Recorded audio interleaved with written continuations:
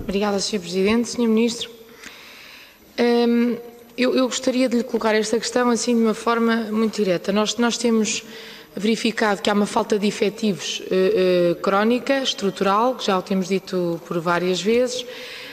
Um, há um aumento de pressão relativamente ao aumento de operações que o Sr. Ministro esteve em visita agora recente em Moçambique. Um, eu pergunto-lhe um, que estratégias é que, estão, é que estão em curso para, eh, eh, para tentar atrair mais eh, ou tentar corrigir este problema, já que, com muita pena nossa, o quadro de praças não foi aprovado e continuam a, pedir mais estudos. Eu já disse isto várias vezes, nós não podemos estudar ad eterno, há um momento em que se tem que tomar decisões.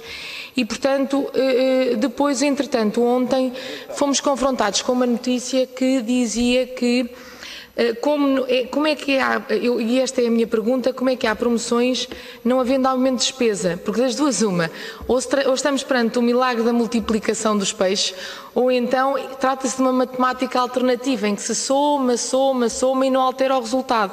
Portanto, eu recomendava que se estudasse os quadros de Excel, porque se calhar estão só, não devem estar a somar as parcelas todas. Eu estou a, a, a ironizar naturalmente, porque é evidente que a resposta que foi dada de que só há, como só há aumento das, dos, dos, cargos mais, dos postos mais inferiores e, portanto, há um aumento.